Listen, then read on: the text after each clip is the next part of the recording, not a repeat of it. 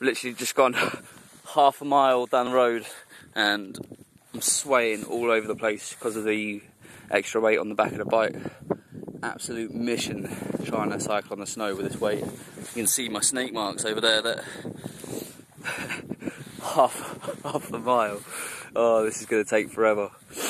Right, so starting out, I'll just say 78 plus the 228. So we're on, can't even figure it out. It's terrible.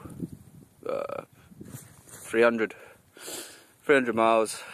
So what is is 30, maybe a bit more away. So I will check back soonish.